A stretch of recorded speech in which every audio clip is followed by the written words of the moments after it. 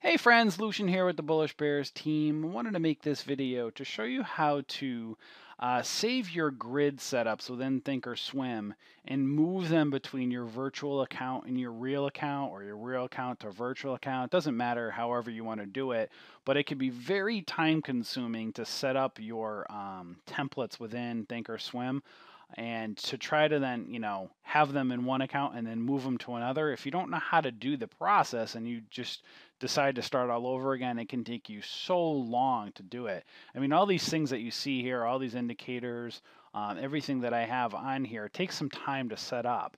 Uh, again i customize it the way i like it but it's very important that when you get um, this set up the way you like it it's always important in, with uh, TD Ameritrade to go up here in the Thinkorswim platform, click on the grid, and click Save Grid As, and you enter the grid name because it saves everything the way you like it. Because what will happen is if you go up here and you wanted to make it, let's say, to uh, you wanted to make it two grids now.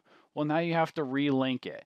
Now you have to add in the filter studies from over here to go over here. Then you have to recolor code it to way to the way you like it. It could be super annoying. That's why each time you do something the way you like it, go up here, click save grid as grid as and save it. And then you'll see up here all the different grids that I have. So I have multiple grids, so I don't have to go through this. So you'll see here, uh, I'll go back here and you'll see I have a one cell active trader. This is uh, TD Ameritrade's um, active trader.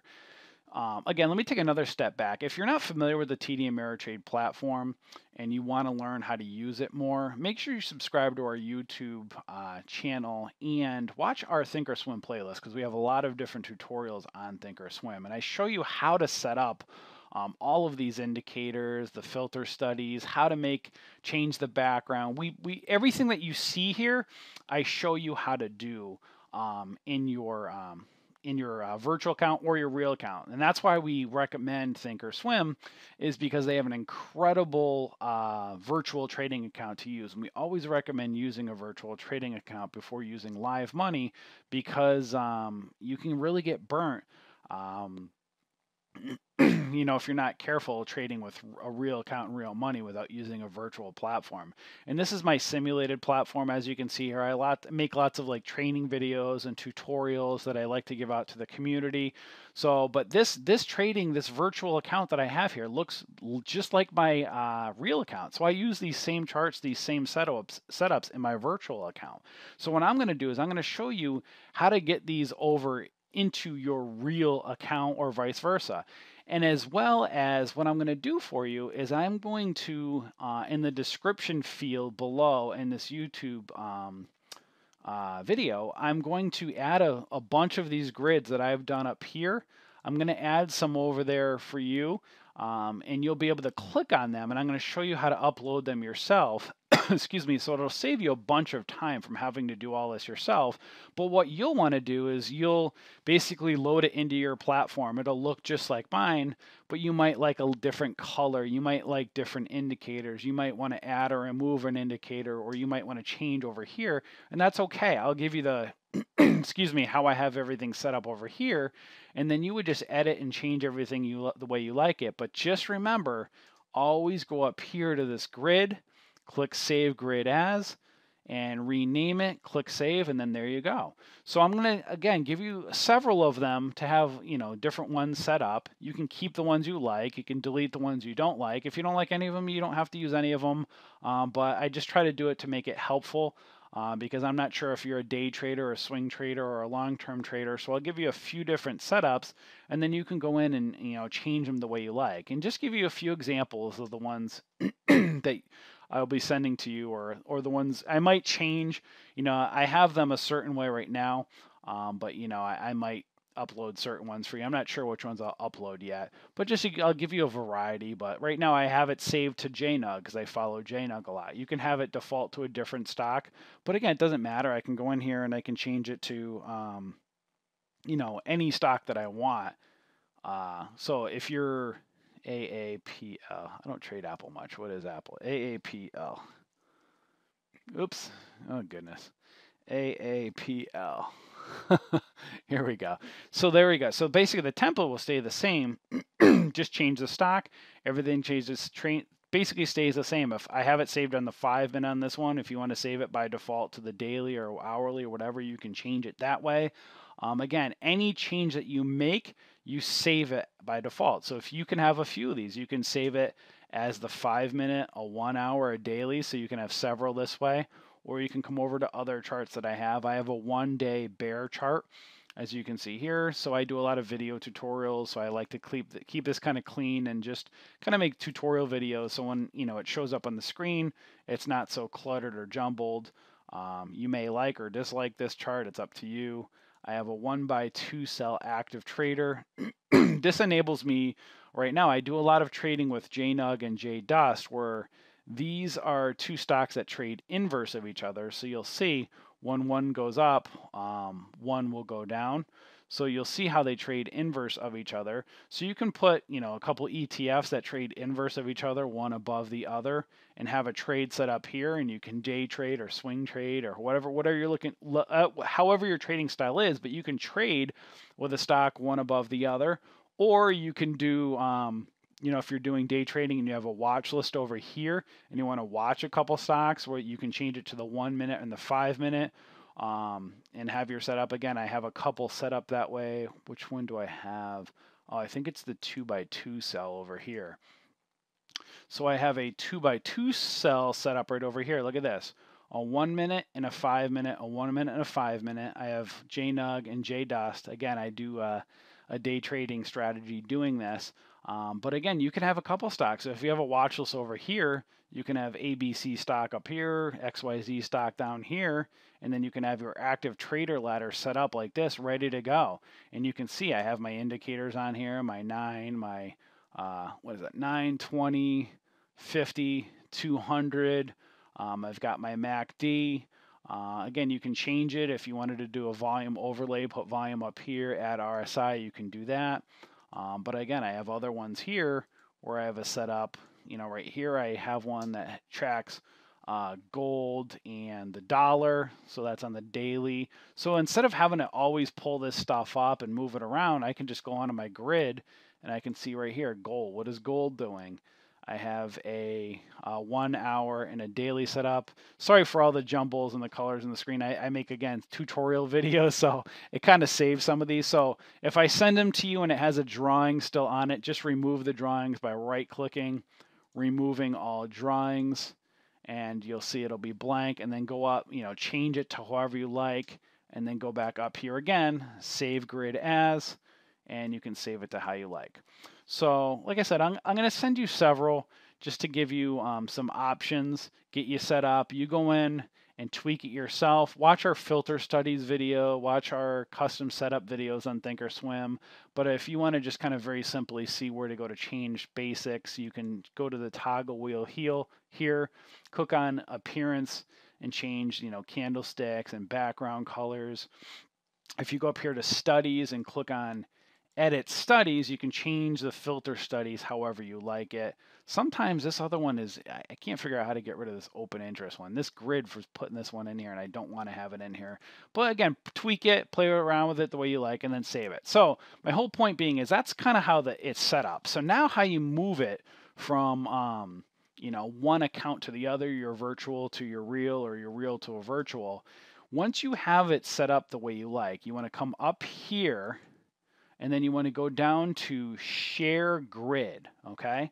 When you click on share grid, you want to name your grid, whatever it is. So I'm going to do this one as um, test three. Uh, just because I was just doing some previous videos here. So you'll um, you'll see test three, and then you click on share on my trade. Now, when I click share, you're going to see a link pop up real quick. Don't worry if you can't click on open link or you don't save it, if you couldn't right click it. What you want to do is the moment you do this and you save the, um, the grid however you like it, you come over here to tools and you'll see here shared items and you'll see right here I actually just did a video on moving all of my virtual ones over to my real account. So you're going to save So you can take the ones I send you or just create ones yourself, however you like it. But no matter what happens, save the grids the way you like them. And once you save them, again, you'll come back from charts over to tools, down to shared items, and you're going to see all of them over here. Okay. what you do is you'll have the links over here. So these are shareable links. These are the links that I'm going to be sending to you um, again, you can tweak them you like, and all you would what the, tweak them the way you'd like, and all you'll do is you'll log into your Thinkorswim account. If you're importing mine, um, you would just log into your uh, Thinkorswim account, open up the link that you see here. Let's say, let me just open up this one right here, and you'll see it right here. It'll show you the link here. You'll click on Open, and when it opens, um, you'll see it right here. It's in a small area. I can maximize it um, but I'm not going to maximize it because again, whatever account, let's pretend this is your account right here and you're opening my grid. All you'll do is you'll go over here to the grid again, click Save Grid As right here. You'll name it, and then what will happen is you will, and again, if you did it for a few of mine, let's say if you're using my setup, you do it same thing over and over. Click on the link again, click on Open, excuse me come over here and click on Save Grid As, save them. So whatever ones you like, save them. And then you'll go back over to Charts and then they will be in your over in this area. So when you upload mine, if you upload them, you'll see them over here. And then you'll click on each one. And again, just go in and edit them the way you like. If you don't like them, if you're like, I don't like this grid that Lucian sent me, I want to get rid of it, just click up here go down to, to, delete and just click whatever the grid is. Again, so make the changes you want, um, edit, delete them however you like, but that's how you do it. So basically, you're going to get your grid set up exactly the way you like it. You're going to come up, if you're doing your own, you're going to just, again, starting from scratch, you go and you save it. If you're importing mine, you'll see it over here. You make any changes, go back up over here, save grid as, you'll have it saved. Um, and how to import them again um, is you'll see those links that I post in the description field. Log into your virtual or your real account or both, and just come over here to to uh, um, actually you'll log into your account and you'll just open my links. And again, once you open my link, you'll see it open here. Click on open, and then you'll just go over here to the grid, click save as, and voila, it'll save for you. So that's um, that's how to do it. So again, I, I want to try and help you out, give you a few options. Hopefully, some option works for you. If not, um, you know, again, just create the way you'd like. But it's just very important. You want to practice between your accounts, and you want to treat your virtual account just like you would your real account. Uh, if you're already trading real account and you don't care about a virtual account, then just hey, great, take these charts, or that's how you do it.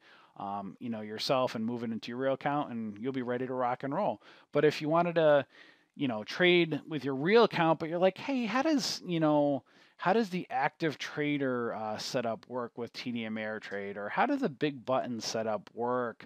Um, how do I do different strategies um, with, um, you know, different type of trades? Let's say you're an, a, day, a, a day trader and you want to learn options, or an options trader and you want to learn day trading, but you don't want to practice with your real money. Well, that's great. Then come over to your virtual account have your um, excuse me have your grid set up and practice trading whether you want to use the active trader ladder or the big buttons tab or whether you want to use level 2 it's all up to you but it's all fully customizable within thinkorswim and that's why we really love using thinkorswim because they offer you so much so many features um, and they're very resourceful. So again hopefully this video helps you. Hopefully um, you know, the grids I send to you uh, will help you to get started because trust me, getting all of these set, up, set up the way you like here, could take you a couple hours, if not more. Uh, this took me probably a couple hours, and that's after, um, you know, I knew what I was doing because you want to tweak the colors, you want to tweak things the way you like, but just getting, just to show you an example, if I go here and I go up and I, uh, how do I, uh, let's do it a reset here give you an example. When you log into your account, this is going to be what it looks like when you first get it set up with your Thinkorswim account. So that's kind of what you're going to be getting right out of the box. So then you got to go up here and you're going to have to customize everything you like and change the appearances. uh, you're going to have to go over here to um, your filter studies and add all the studies that you want. and then you would go up here and then decide whether you, how many grids you want and linking them together. Um, and again, each time you do it, if you have a four grid setup, you save it. If you want to do a two grid setup, you come down here and you do a two grid setup or whatever, and you do it the way you like and you save it.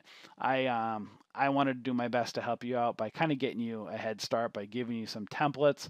Um, but again, if you want to know how I did these and uh, how I set up the filter studies and how I change the colors, um, basically just go and watch our YouTube playlist on Thinkorswim and it should really help you out.